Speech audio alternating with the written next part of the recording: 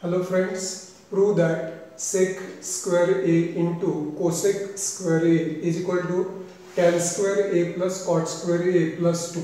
Now I will first write here LHS is equal to sec square a into cosec square a. Now I will use here formula for both these means first for sec square a. Sec square a means 1 plus tan square a into here formula for cosec square a means 1 plus cot square a.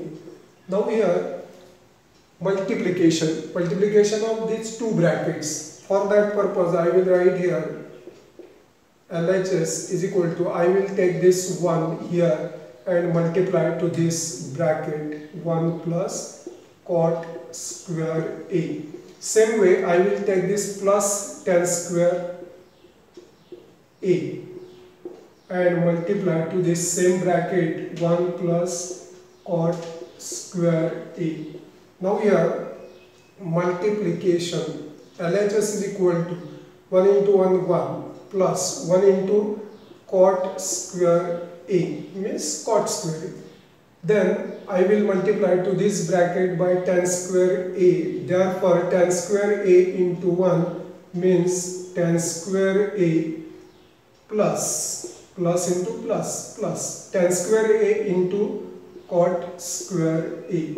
This is our multiplication of these two brackets. Now here LHS is equal to 1 plus cot square a plus this tan square a plus I will use here formula for any one of these two. When I will write here tan square a then I will use formula for cot square a. Cot a means 1 upon tan means cot square a means tan square a.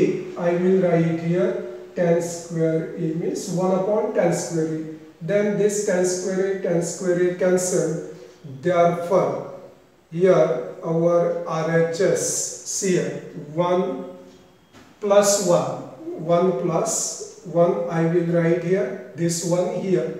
Then plus we want tan square and cot square. Cot square a plus tan square a then First I will write here LHS and finally I will write here RHS is equal to RHS is equal to 1 plus 1 2. See this last tan square first tan square a plus cot square a plus this 2. This way we obtain RHS by taking at the beginning LHS. Therefore, finally we write here LHS is equal to RHS. Friends, like, share, subscribe my channel, press notification button too. If you want to join my online classes, then contact me.